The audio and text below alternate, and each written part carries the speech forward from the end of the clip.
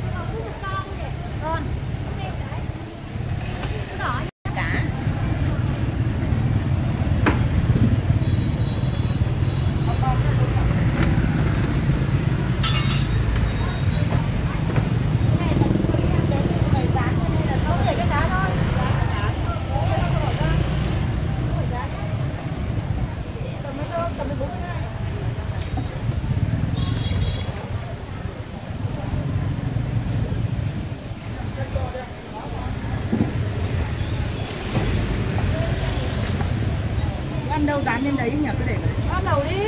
bắt đầu nướng ạ. bạn. Đầm đầu nướng là cái chuông.